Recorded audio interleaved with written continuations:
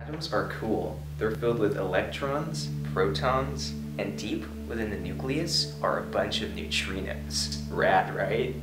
Let's hop into my idea of relativity. Okay. Take in mind this little star. You don't know if it's moving or not. Is it moving? I don't know. When you put something behind something, now you really know it's moving. Yeah, that's pretty cool. But you know what's cooler? The barcode scanner scans the white part of the barcode, not the black. The reason for that is barcode scanners were invented by a racist person.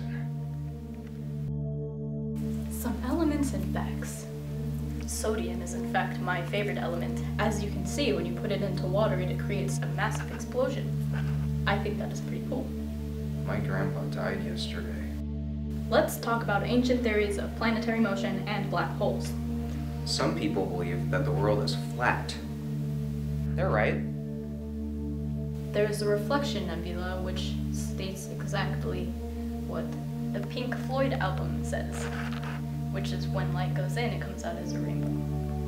Did you know that a species of reptilians living deep underground actually controls the United States government and the government of three other of the most powerful countries in the world? And then, of course, when a, when a quasar goes into its adolescent stage, it becomes a 420 blazar.